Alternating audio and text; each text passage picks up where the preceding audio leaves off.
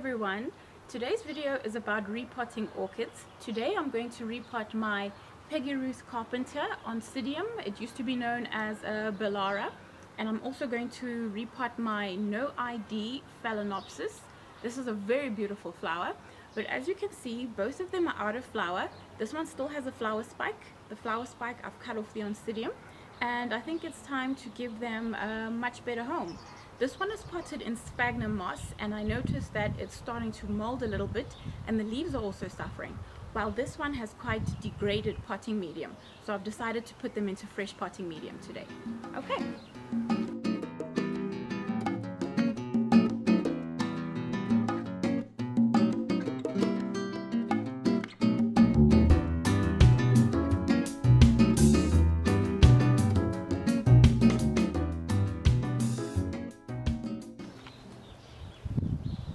Alright, uh, the first one that I'm going to repot is the um, Peggy Ruth Carpenter.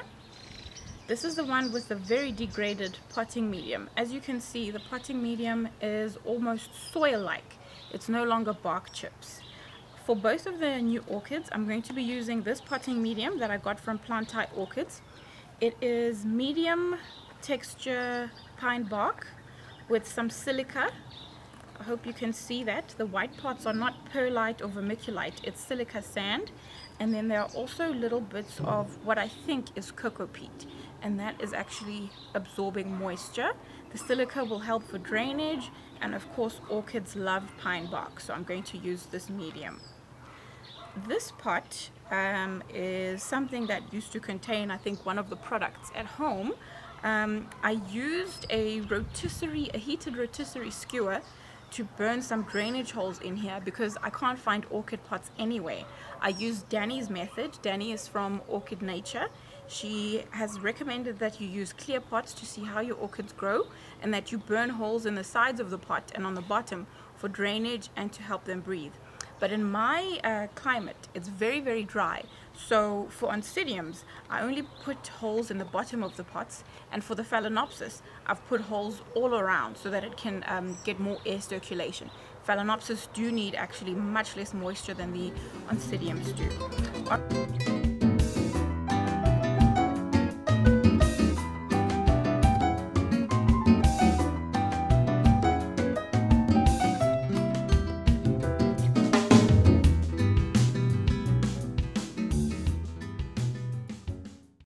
Alright, so here's what I'm going to do first is remove the old potting medium from the oncidium. Very carefully the degraded potting medium. It's very soft and has degraded quite a bit.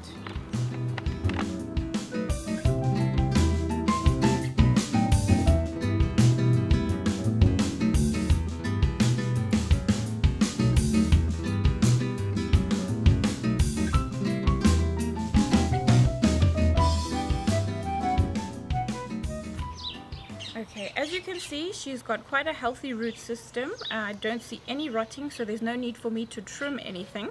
And the pot size, I think, is ideal. You never really want to size up the pot for your orchids because orchids like a snug fit in their pots. So this one, the roots are almost touching the sides of the pot. I think it should be fine. And with oncidiums, unlike with a normal um, house plant, you don't plant them in the middle like this because of their growth habit they put out pseudobulbs sideways. So you would want to put it up against the side of the pot to give the pseudobulbs room elsewhere in the pot to grow. So this orchid I'm probably going to place like this in the pot, almost all the way to the side. This is the back bulb where it flowered and grew previously. This is the current bulb and the new bulbs, the new pseudo bulbs can come out in any direction here on the left or the right. So I'm going to plant this orchid off to the side here. Okay.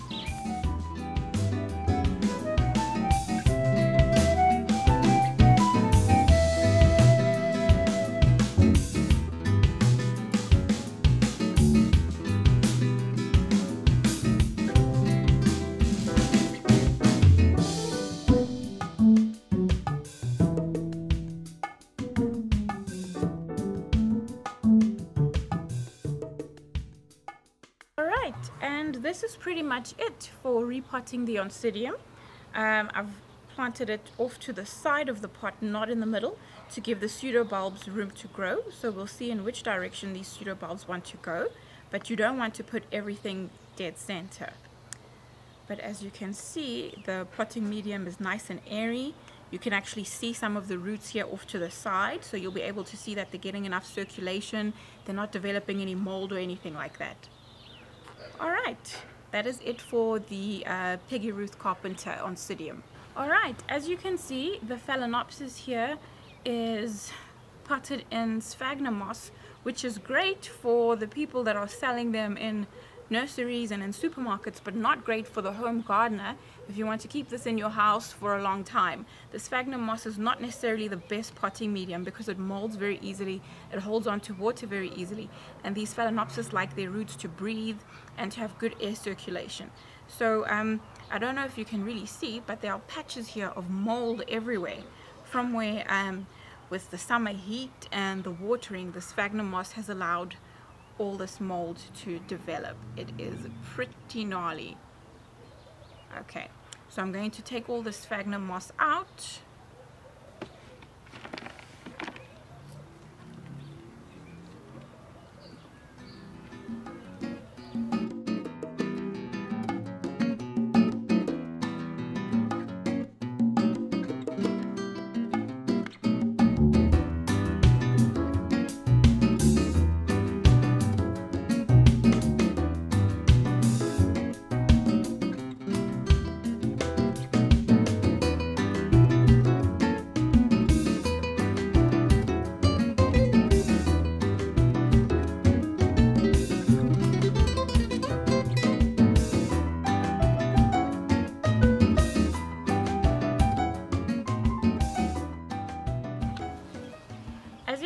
I've taken all the sphagnum moss off the roots.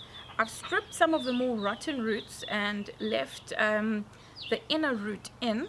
I've stripped the vellum off and I'm hoping that these roots will still be able to absorb nutrients and moisture. I've read that they'll be able to do so. And this orchid it's a bit of a rescue. The bottom leaves have actually started to rot. I don't know if it's a fungus or overwatering or it's probably something to do with um, the high moisture from that sphagnum moss and the rotting that was happening with the roots. So I'm going to take these unhealthy leaves off.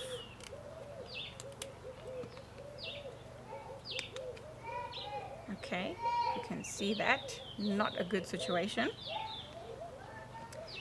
And some of the lower leaves off as well. And I will be potting this now in the fresh medium. Okay go. And this is the pot with all the holes. Holes in the bottom and holes all over the sides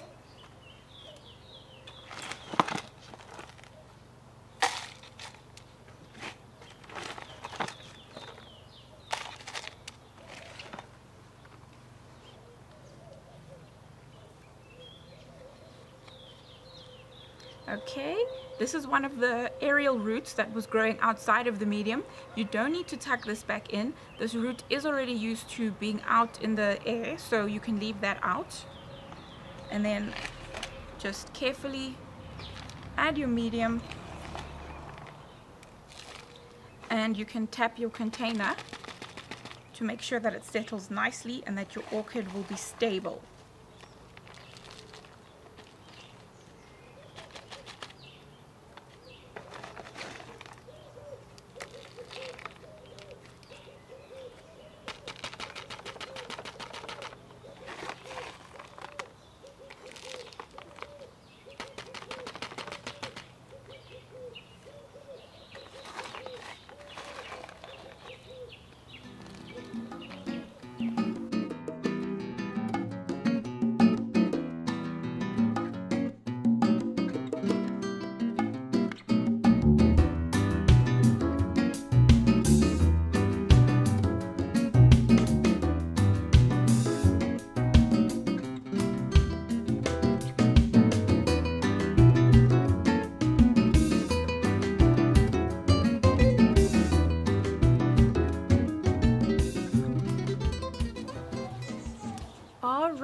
So there we have our newly repotted Phalaenopsis.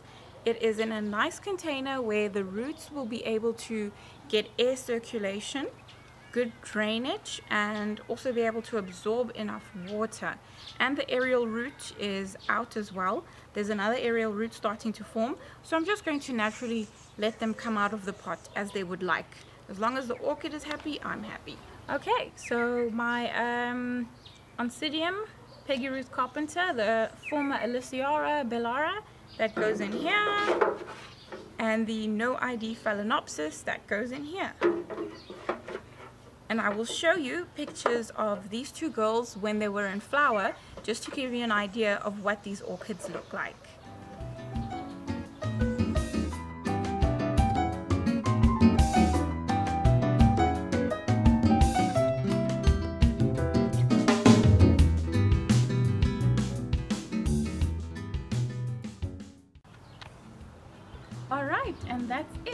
Thank you so much for watching. This is the final product. My Oncidium over here and the No ID Phalaenopsis have now been repotted and I've put them in these decorative pots as well. This is how they're going to stay in the house for the rest of the summer until autumn when hopefully both of them will go into spike again and give me beautiful flowers once more. Thank you so much for watching. Please like, comment and subscribe. Bye-bye.